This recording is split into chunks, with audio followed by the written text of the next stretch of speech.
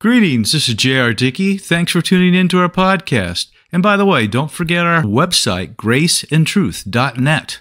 I hope you're having a great day, but if not, hang with me. It's about to get better. Okay, today we're going to talk about life. No, not yours or mine, just the nature of life itself. Okay, let's get started. The typical wide brim Chinese hat he wears is wrapped in ancient plastic wrap and shades of face that is aged and downcast. Pushing his broom to clean the trashy streets, he stands or rather stoops in a surreal contrast to the flashy, young, and sensuous billboards, 30 feet high, advertisements for Esprit, Top Girl, Totally JoJo, and the hundreds of other false boastings of a modern materialistic world, which is quiet now, but only a few hours earlier was bustling with crowds of people shopping, flirting, seeking gain. I gently wagged my head and thought, what a life. Life, I don't think we really get it. I don't think we really understand what life truly is. In fact, this example comes to mind. As the actors beheld a beautiful sunset and drank their beer, the old commercial used to say, It don't get any better than this. And many people think of life in such terms. Clearly, the overwhelming majority think of life as the pursuit of pleasure. In fact, it's common when we're stuck in an unpleasurable routine to hear someone say, Hey, get a life. But life is not primarily biological. It's just that biology, so to speak, the physical world and its values, are easier for us to deal with, to perceive and identify. Neither is life simply existence. You and I will exist forever, but we know that eternal existence will be either eternal life or eternal death. So there's another more fundamental quality of life to consider. And I don't think we really get it, but we should definitely try. The apostle Paul admonished the early church saying, quote, "You should no longer walk as the rest of the Gentiles, that is unbelievers, walk in the futility of their mind, having their understanding darkened, being alienated from the life of God." That's Ephesians chapter 4. The very fact that he made this statement, the very fact that he made this statement shows that we as believers can have the same misunderstanding about life as unbelievers. So, what is life, really? And why does it matter? To the one who has never tasted the goodness of God, never been born again through Christ, any attempt to communicate this will make no sense. It will be like describing the most incredible sunset to someone born blind.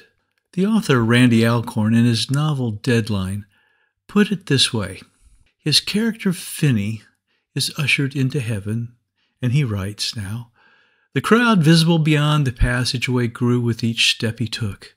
Some faces he did not recognize, many others he did.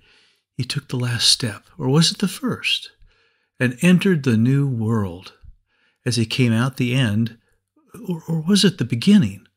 Over the threshold, he gasped his first breath of heaven's air. The gasp was a gasp of wonder at the beauty of this place and the magnificence of its inhabitants. Many hands grabbed Finney's, which he stretched out toward them as if to confirm they were real. He must have some sort of body, since he could feel their touch. This struck a chord of familiarity. It had happened before, or something very much like it. Yes, of course, when he was born into the other world.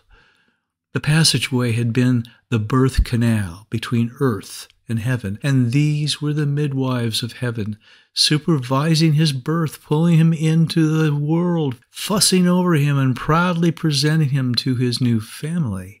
This was the real world which he'd been no more capable of imagining before than of an unborn child can imagine the infinite wonders that lie beyond the womb.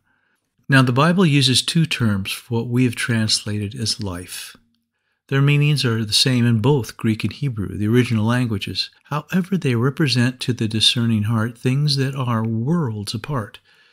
The first term comes from the word to breathe and means a breathing creature. In Scripture, it always refers to earthly life. A few examples are Therefore I say to you, do not worry about your life, what you will eat or what you will drink, nor about your body, what you will put on. Is not life more than food, and the body more than clothing? That's Matthew 6:25. And there's some other examples I'll read here. He who finds his life will lose it, and he who loses his life for my sake will find it. That's Matthew 10:39. As the Father knows me, even so I know the Father and I lay down my life for the sheep. That's John 10 15. Okay, that was the first term. Now, the second term means life or vitality and is the word always used in referring to the eternal quality. Here are a few examples from Matthew 7:14 because narrow is the gate and difficult is the way which leads to life and there are few who find it and from Luke 12, 15.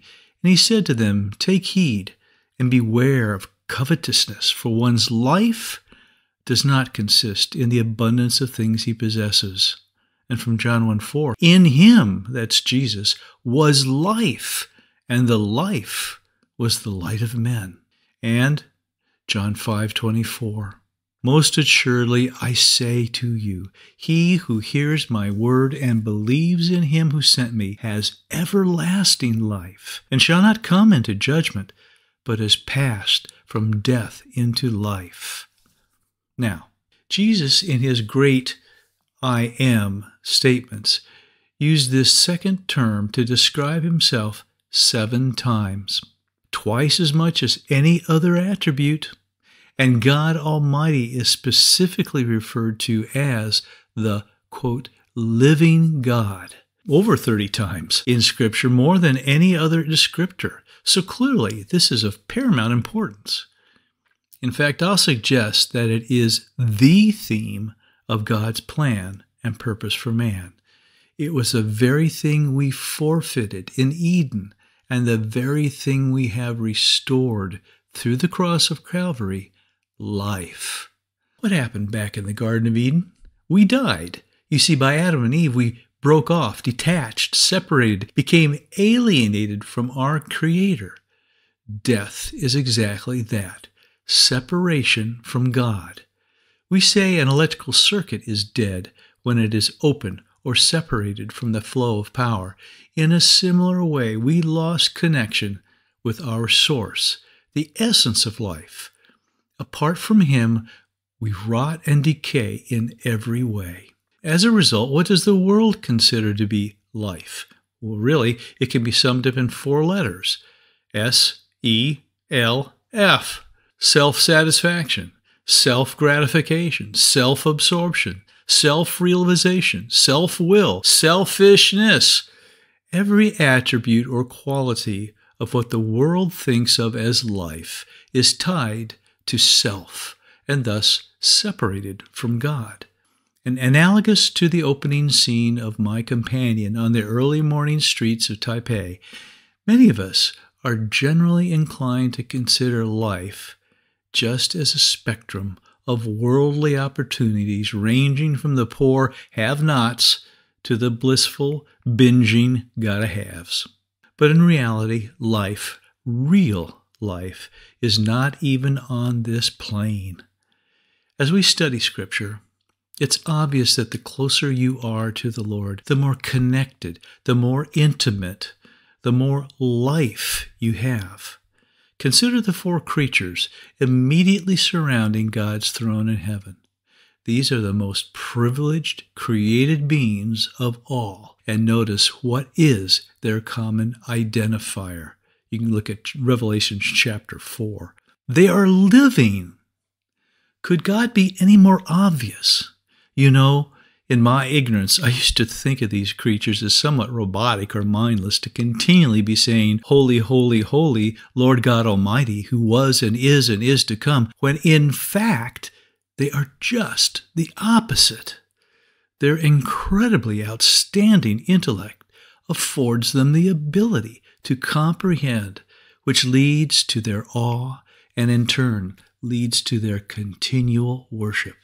Now, I don't think we get it, but we can. We'll get it as we get it. Got it?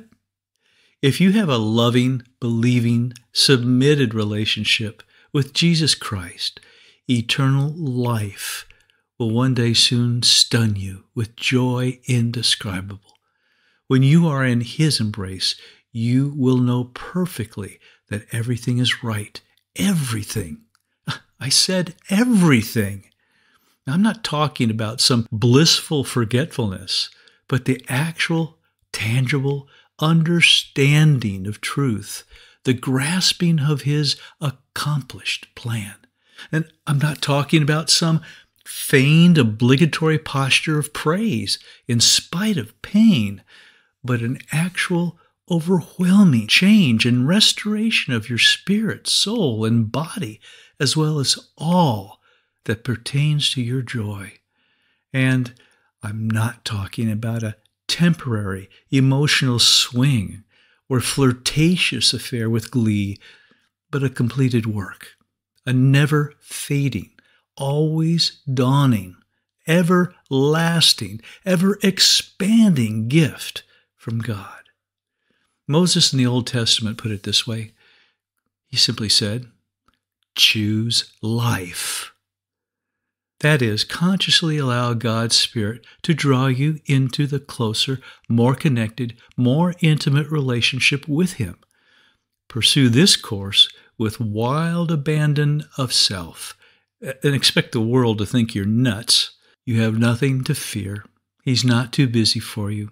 He'll never leave you. His thoughts about you are without number and are for your good. It's in this relationship and the never ending pursuit for more of God that we comprehend and enjoy life. We get it. To know Him is to love Him, is to know Him, is to love Him, is to know Him, is to love Him. On and on it goes forever. This is the circle of life. John 17, 3 puts it this way, and this is eternal life, that they may know you, the only true God, and Jesus Christ, whom you sent. Now may the Lord grant you peace in the midst of any storm and faith to trust Him. Look for our next podcast, and may you realize more of His grace today.